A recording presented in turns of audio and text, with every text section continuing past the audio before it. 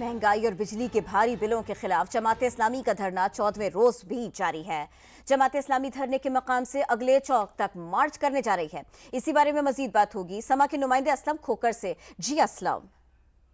جی بالکل، جماعت اسلامی کا جو دھرنا ہے، مہنگائی اور بجلی کے بلوں کے خلاف آج چودویں روز بھی جاری ہے اور آج جو ہے جماعت اسلامی کے جو امیر ہیں، ان کی جانب سے اپنے جو مطالبات ہیں، ان کے حق میں مارچ کا اعلان کیا گیا اور بتایا ہی جا رہا ہے کہ یہ تمام لوگ جو ہے مارچ کی صورت میں مری روڈ پر جائیں گے۔